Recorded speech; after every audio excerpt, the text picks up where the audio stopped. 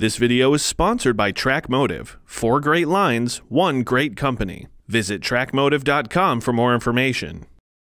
You've probably seen this a couple times in your career.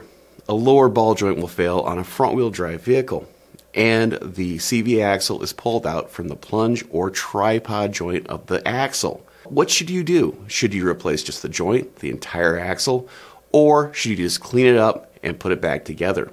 You should keep in mind that when this joint becomes contaminated, it can fail very quickly.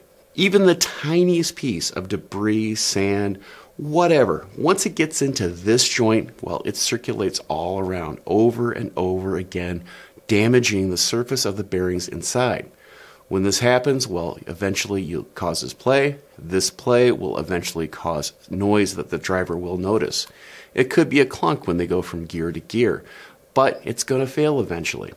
So it's critical if you run into this condition where the tripod joint has been pulled out of the axle or the plunge joint, you need to make sure that you're servicing it properly and even replacing the entire axle because you cannot predict what has gotten into this.